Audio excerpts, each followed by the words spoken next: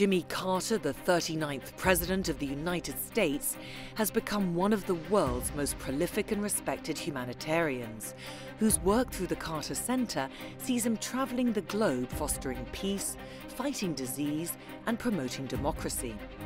It was this unwavering belief in peaceful resolution that cost him his presidency. We stormed the embassy hostages in Tehran tonight. And there's almost nothing the United States can do about it. Do you feel there were any choices you would have made differently? I think I would have been reelected easily if I had been able to rescue our hostages from the Iranians. And uh, everybody asked me, what would you do more? I would say I would send one more helicopter because if I had one more helicopter, we could have brought out not only the, the 52 hostages, but also brought out the rescue team.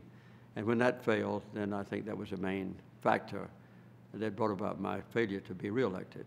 So that's one thing I would change. I would say, do something, anything, and he said, and then have them take a hostage out one at a time, one day, and, and execute them in front of the world. You know, he, he was firm, but it was tough. We knew he would probably not, probably not be reelected. He didn't give in, so I was proud of him. But peace is very difficult. Uh, war is popular in our country. Even your wife, Rosalynn, was encouraging you to take action. Was it hard to, to not take everyone's advice around you, even your wife's? Yes. Um, well, I could have been reelected if I had taken military action against Iran. It would have shown that I was strong and resolute and, and um, manly and so forth. But uh, I think if I, I could have wiped Iran off the map with the weapons that we had. Uh, but in the process, a lot of innocent people would have been killed, probably including uh, hostages.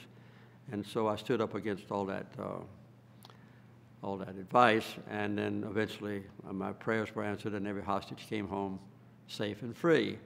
And so I think I made the right decision in retrospect, but it was not easy at the time. I think he was uh, incredibly unfairly judged. I mean, he was ahead of his time when he was in the White House, and I think if it hadn't been for the Iran hostage uh, situation, uh, he would have had a second term and I think uh, most likely would have been as well respected for his time in office as, as, for his time outside the office. Do you feel the American people have accepted that now, that it was the right decision? I think increasingly they have, as more facts are known and as people look back on those times.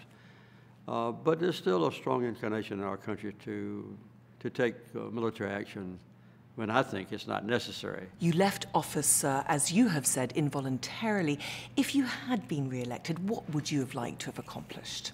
I don't have any doubt that if I had had a, another term in office, I could have implemented very firmly the peace agreement that I negotiated with Israel and its neighbors uh, that was never fully implemented. So now, here 35 or 40 years later, we still have Israel not at peace with its neighbors.